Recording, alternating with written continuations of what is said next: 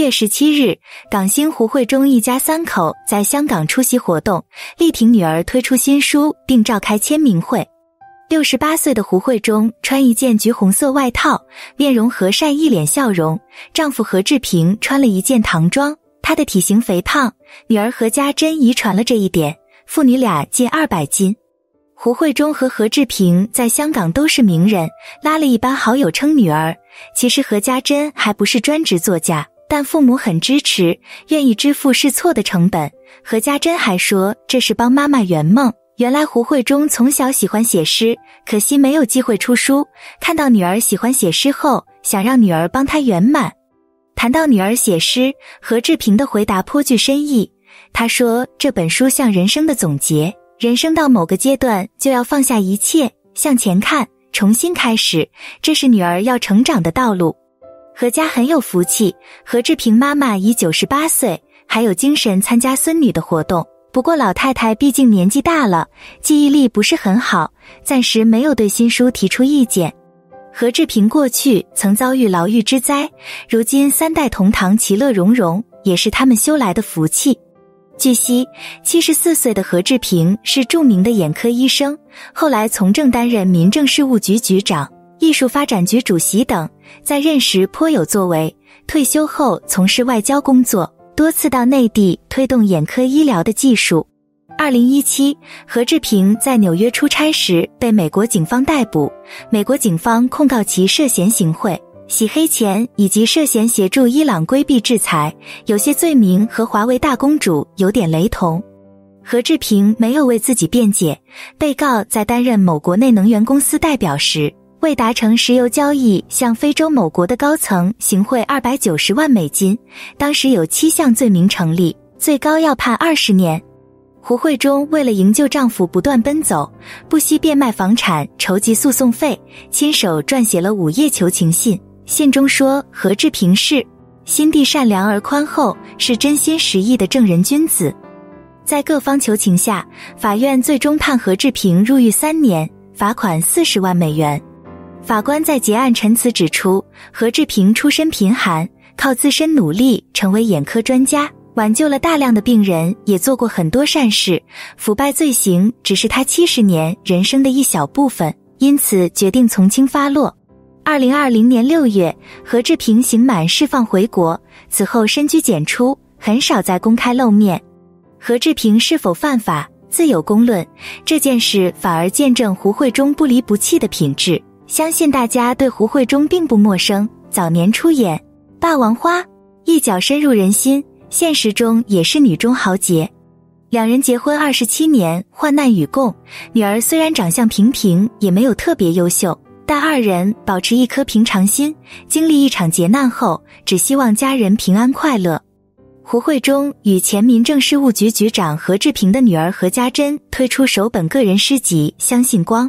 十七日到书展宣传新书，父母和奶奶都有来到支持，父母更吻贺他送祝福，家人相拥，场面温馨。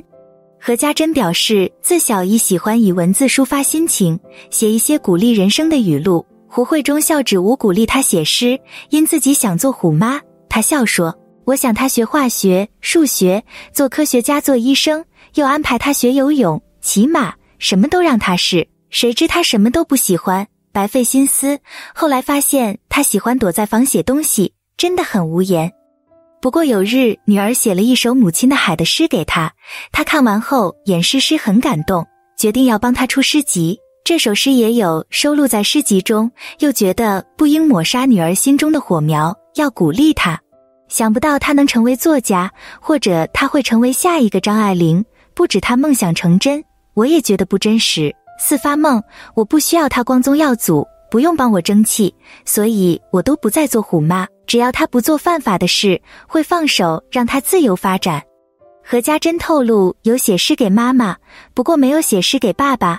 何家珍指爸爸不会吃醋，也没有不开心，否则不会为他写序。胡慧中则报老公有少少吃醋，笑指一家人不会只是甜甜蜜蜜。有时酸酸的才有家庭乐趣。何家珍为小时候有让爸爸看他写的诗，虽然没有给他意见，但知道爸爸有与朋友分享。七月十八日，许久没有露面的香港女神胡慧中公开现身，只不过这次不是为了自己，而是为了女儿。一家四口罕见同框，女儿的长相引起了热议。已经六十八岁的胡慧中，身材发福了许多，五官也没有昔日那么精致。曾经英气的长相，如今也变得普通。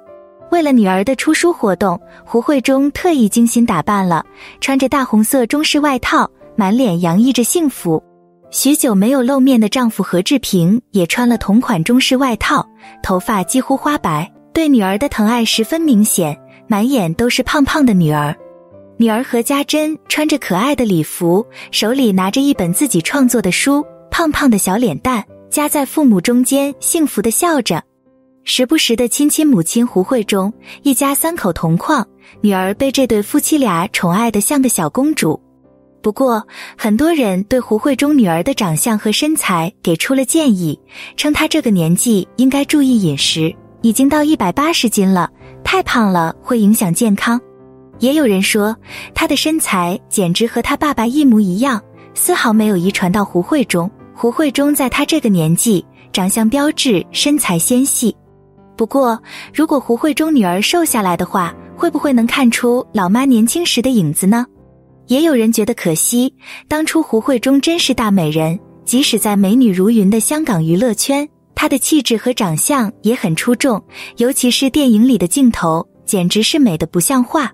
以前又美又飒，现在是一点也看不出了。不仅身材发福，五官也失去了曾经的样子，变成了一个普通的老妇人。都有老的时候，还是无法接受女儿看着又胖又呆萌，没有继承妈妈的事业和美貌，真的可惜了。当天，胡慧中九十八岁的婆婆坐着轮椅现身，支持孙女的出书，看着精神状态不错。奶孙俩的同款笑容引发了无数的抓拍，再次感叹基因的强大。要说胡慧中的晚年也算是一波三折，老公晚年因行贿洗黑钱入狱，她为了帮助老公四处奔波，求人帮忙，拉拢身边的人脉。庆幸的是，只判了三年。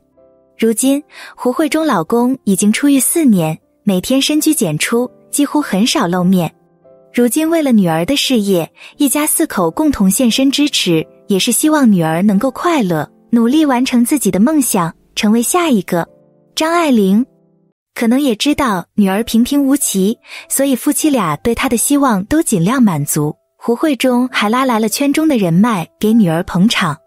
胡慧中感叹说：“曾经自己也想培养她骑马、画画、唱歌、跳舞，但是她都不喜欢，只喜欢自己躲在屋子里写作。我不需要她光宗耀祖，也不用给我争气。”只要他不做违法的事，我会放手让他发展。看来全天下的父母都是一样的，即使是明星父母，如果孩子普通平凡，也不希望他去冒险。不是所有星二代都能继承父母的事业。如果孩子没有什么出奇的特长，那么像胡慧中的想法，能给孩子足够托底的能力，也算是对他最好的方式了吧。好了，以上是本期的内容。如果您喜欢我们的节目，欢迎订阅、点赞、转发，感谢大家的支持。